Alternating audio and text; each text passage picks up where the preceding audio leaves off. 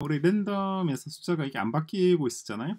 그래서 상당히 좀 이상했었죠. 사실 저도 어, Go 언어가 왜 이렇게 됐는지는 모르겠습니다만 어, 저도 이번 알았어요. 보니까 Go 언어는 random에 들어가는 인풋 값이 그대로이면은 이전에 만들어졌던 rand 값을 그냥 그대로 쓰고 있어요. 상당히 특이한 경우인데 다른 언어는 이런 걸 제가 본 적이 없는데 만약에 숫자를 우리가 여기다가 다른 숫자를 하나 넣어줘 볼까요? 그러면은 rand 값이 바뀌납니다. 이렇게 54 나왔죠? 그런데 또다시 여기다가 예를 들어서 1을 넣어줄까요? 1은 했고 2를 넣어주죠.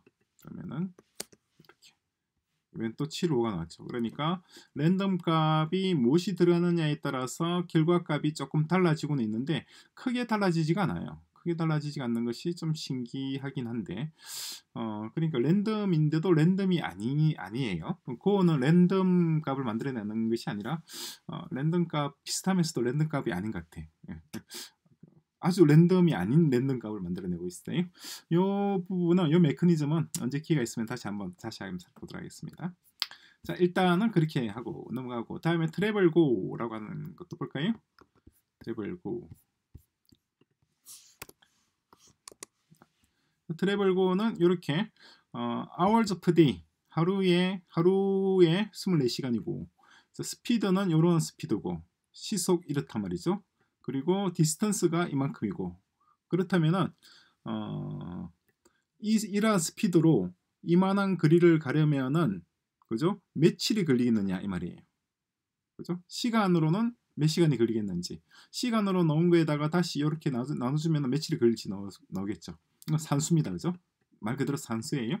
그래서 그대로 복사를 해서 뭐 산수니까 뭐 딱히 할 건 없습니다만은 그래도 돌려볼까요? 며칠 걸리나요? 39일이 걸리네. 그죠?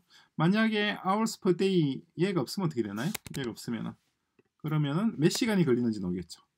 955 days가 아니라 hours 나오겠죠. 955 hours고 이게 날로 치면은 어, 일로 치면 39일이 되는 거죠. 그죠? 자, 그런 내용입니다. 다음에 weight loss go 라고 하는 것도 볼까요? loss go 그래서 저 weight가 154.0이다. 여기다 2를 빼려면 어떻게 되느냐? weight는 weight 몸무게가 weight가 154.0 마이너스 2 이렇게 될 거 아니에요? 그죠? 이 있는 이 표현을 이렇게 쓸 수가 있단 말입니다. 그죠? 간략하게 쓰면 이렇게 된다는 거죠. 다른 언어도 다 똑같아요. 자, 자, 이렇게 해서 2장에 있는 내용들을 간략하게 한번 살펴봤습니다. 2장에서 주로 다루는 내용은 어, 프린트였어요. 프린트를 어떻게 하는지 세 가지 있었죠. 정리하자면은 어, 세 가지가 첫 번째 프린트가 있었고 두 번째 프린트 F가 있었고 그다음에 프린트 그다음에 ln이 있었어요. 이 세 가지의 차이점 무엇인지 한번 어, 천천히 정리를 해보시기 바랍니다. 머릿속에서 정리해 보시면 돼요. 프린트가 제일 단순한 것이고 프린트 F는 여기다 포맷이 들어가는 거죠. 프린트 F는 프린트 기능 더하기 포맷 포맷 기능 들어갔죠. 그러니까 다른 말로 하면은 퍼센트 V를 썼단 말이에요. 퍼센트 V 이 기능 들어가는 요게 프린트 F였습니다. 그죠? 그리고 프린트 ln은 프린트 기능에다가 줄바꿈이 들어가는 더하기 줄바꿈 여기에 들어간 게 프린트 n이었지 ln 그죠? 프린트 f는 프린트 더하기 폴맥 글자 들어가는 거죠. 이것이 기본적인 출력 방식이었습니다.